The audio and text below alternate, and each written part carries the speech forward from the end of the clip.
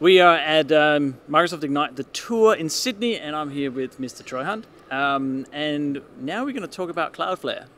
And it's interesting because you told me a fact the other day that 10% of the mm. internet's traffic goes through Cloudflare. But what is it? Does anyone know? So I, I, just finished a talk where I was talking like equal parts about using Azure and serverless and things like that, and, and Cloudflare. And, and I asked the audience, like, who in the audience uses Cloudflare? And 15% of the people put their hands up. And it's like, no, you're wrong. Everyone does.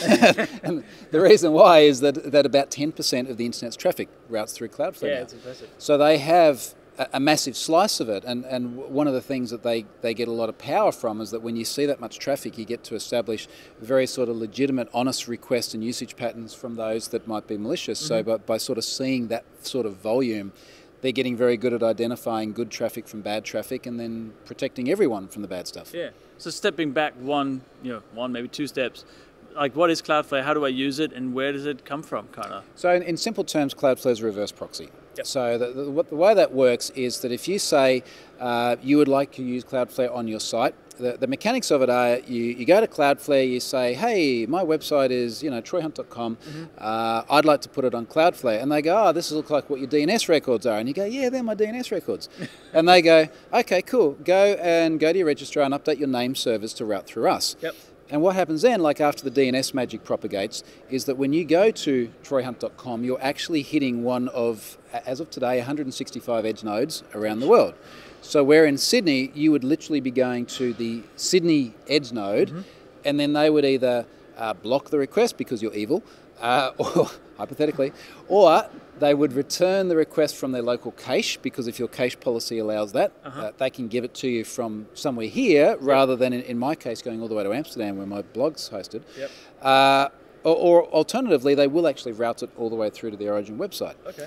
And their, their goal that their CEO tweeted a little while ago, he said, we would like to get 99% of the world's population within 10 milliseconds of a Cloudflare Edge node and that's really powerful for us as, as developers as yeah. well because it's like what if i could serve 99% of my audience from a location within 10 milliseconds of them like what does that do for things like performance it's, Absolutely. It's massive yeah well, well we hear about this all the time that something like say the google chrome, google chrome browser is a browser that is you know optimized for performance because that is the number one metric that people look at. If you have to wait three seconds for a website to load, you go, meh, it doesn't work, right?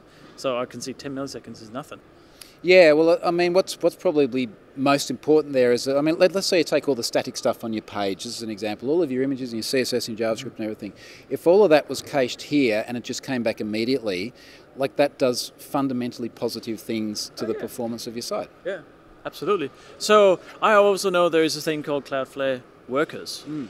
um, and it's it's a little bit um, magic still. I think. Like, what do they actually do? So in, in, really simple terms, Cloudflare Workers is just code that runs on the edge, so in each one of those 165 data centers. And what that means is, is that when a request comes from, from say, us here with, mm-hmm. say, my phone, yep. goes to the Cloudflare Edge node, say in Sydney, I can manipulate that request. So I can change where it goes. I could send it to multiple different places and aggregate the response. Yep. I can add things to it. I can modify the body, the headers, anything like that.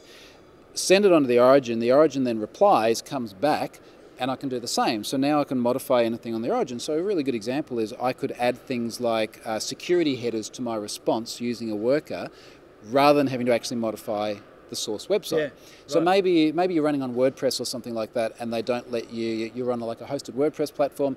You can't actually modify the code to add headers, but if it's mm-hmm. coming through Cloudflare, it's like yeah, let's have a content security policy. We can drop that in with a worker. Yeah, no, it's really powerful. It's really cool stuff. So how do I get started with Cloudflare? cloudflare.com. so it's uh, actually, you know, there's, there's, a few, few different ways you can do it. I think the easiest way to do it, I did a website recently called uh, httpsiseasy.com, mm-hmm. and I was trying to like drive people towards getting more HTTPS on things.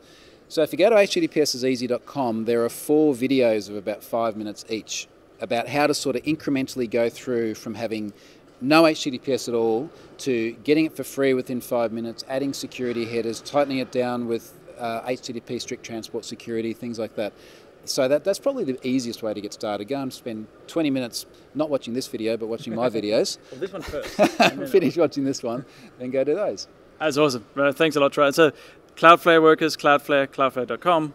Go there now. Thanks, Absolutely. mate. Cheers. Cheers, mate.